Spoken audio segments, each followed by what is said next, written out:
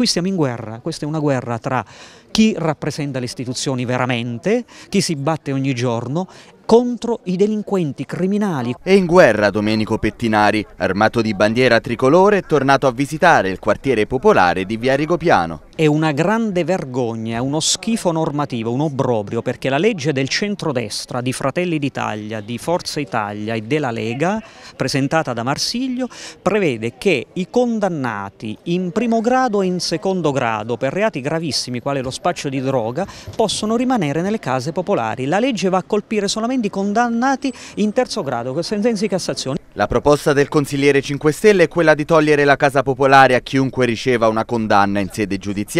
Se insomma un cittadino delle fasce più povere della nostra comunità nel corso della propria vita inciampato nella legge, a questo bisognerà levare il tetto da sopra la testa. Non crede che poi potendo levare la casa a chi è pregiudicato questo possa creare maggiori disagi poi per strada?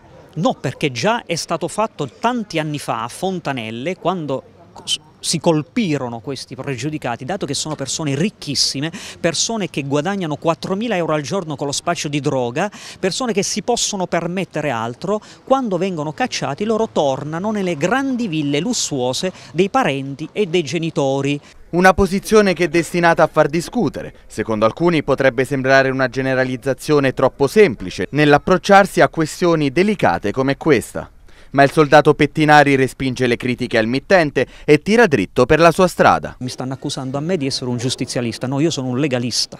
Loro che invece vanno in televisione e dicono di voler eh, cacciare i delinquenti i criminali, poi alla conta dei fatti, ecco che cosa fanno nelle segrete stanze. Questa è una vergogna.